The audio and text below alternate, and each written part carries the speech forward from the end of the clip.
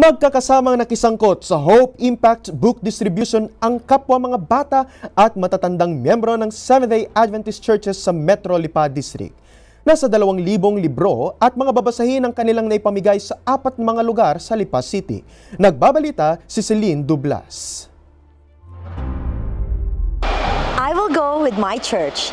Yan ang naging tema at siyang naging sentro sa paghayo ng mga local churches ng Metro Lipa District upang makapagbigay ng mensahe sa mga Lipenyo bilang bahagi ng Hope Impact Activity ng North Philippine Union Conference.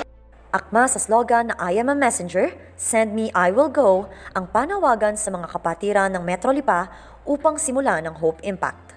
Mula sa mga bata, mga kabataan, hanggang sa mga katandaan. Masiglang nakisangkot ang mga miyembro ng Seventh-day Adventist Church ng Metro Lipa District upang magbigay ng mga babasahin at makapamahagi ng mensahe ng kaligtasan at pag-asa sa mga Lipenyo sa ginanap na pangmalawakang Hope Impact Activity. Hindi matitinag sa pagsulong sa mga sulok ng mga kalsada at mga bahayan ng mga kapatid na Adventista sa Lipa. Bawat isa ay naatasan na magabot ng mga pulyeto at babasahin sa pagpapakilala sa Panginoong Hesus at pagpapalaganap ng kanyang pag-ibig na magbibigay pag-asa sa mga kaibigan na hindi pa nakakatanggap ng mabuting balita maging ang ilang mga kabataan ay nagpabot ng mabuting aklat ng pag-asa sa loob ng pampasaherong sasakyan.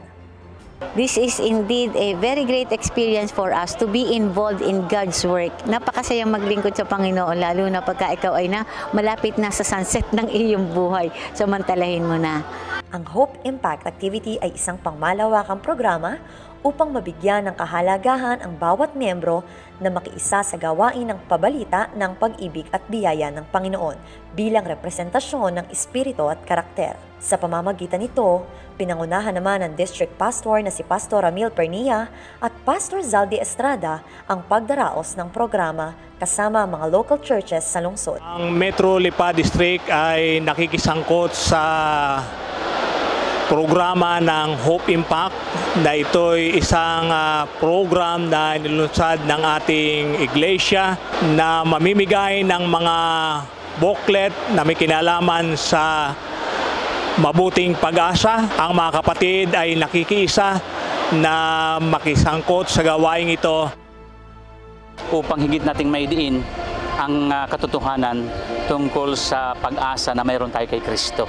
Kaya ini-encourage sa lahat na mga kaanib ng iglesia na, na sumangkot upang magkaroon talaga ng impact sa pangkalahatan. Sa pagtutulong-tulong ng mga lokal na iglesia ng Adventista, humigit kumulang 2,000 mga aklat ang naihandog ng mga kapatiran at ito ay nakapagbigay liwanag at pag-asa sa mga Lipenyong hindi pa napapaabutan ng katotohanan.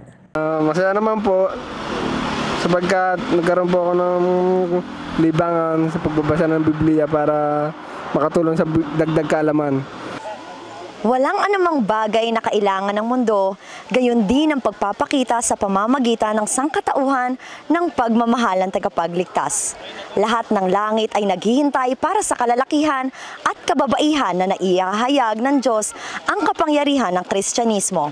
Acts of the Apostles, page 600 naging pagpapala sa mga barako at lipenyo ang pamamahagi ng mga aklat. Idalangin natin ang bawat isa na nagsitugon sa gawain. Layuning maghatid ng balitang may dalang pag-asa. Ako si Celine Arbando Blas, nag-uulat para sa Hope Today and PUC News.